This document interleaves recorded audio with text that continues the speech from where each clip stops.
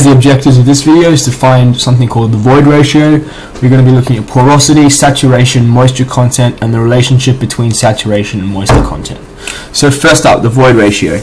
So the void ratio is given by the symbol E, where E equals the volume of the voids on the volume of the solids, which you can rewrite, because we know the volume of the voids is the volume of the air plus the volume of the water.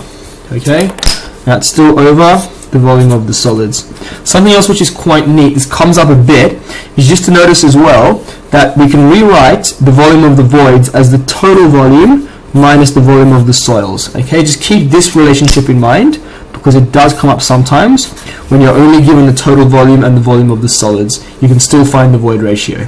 Okay, the porosity is given by the letter N, okay, which equals the volume of the voids on the total volume right? So if we wanted to break that up, that would be the volume of the air plus the volume of the water on top of the volume of the air plus the volume of the water plus the volume of the solids. Okay, this value ranges from 0 to 1. Okay, and if you think about it, if we have no voids, right, we're going to have 0 on the top, which makes our answer 0. And if our, if our um, substance is only voids, it's going to be 1 and because it's only voids, the bottom will also be 1, or it'll be 6 on 6, or 8 on 8, which will always give you back to 1. So this value ranges from 0 to 1, okay? The E can be larger than 1, okay? Or less than 1. This value can range between a whole bunch of values, but this one only goes between 0 and 1.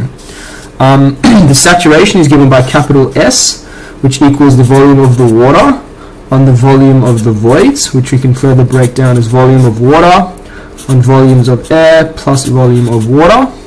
Um, this value likewise ranges from 0 to 1. Okay, and the next thing we're going to be looking at is the moisture content. So the moisture content is given by little m. This should not be confused with mass. In soil mechanics, little m is moisture content, which is the weight of the water over the weight of the solids, or the mass of the water, or the mass of the solids. Okay, Moisture content comes up quite a bit, so moisture content is probably one of the more important relationships. Um, and also the E, the um, void ratio is very important. So E and M are very, very important relation, are very important um, parameters for soil.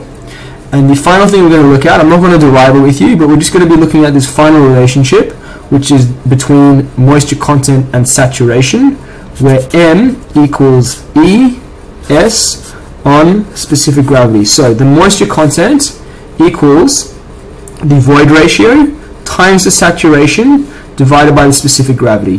This relationship is very, very, very important and it comes up a lot in soil mechanics. Okay, this is a very important relationship. It sort of connects almost everything we've done here, right? It connects E, S, and M. Yeah? The moisture content equals the void ratio times the saturation divided by the specific gravity of the solid. Um, in the next couple of videos we'll do a little bit more examples which will connect all these things together.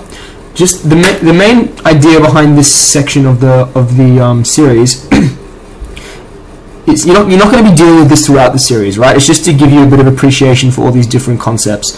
Um, when you do more complex questions, you're not going to have to use all this stuff. You might just have to use one relationship to get somewhere.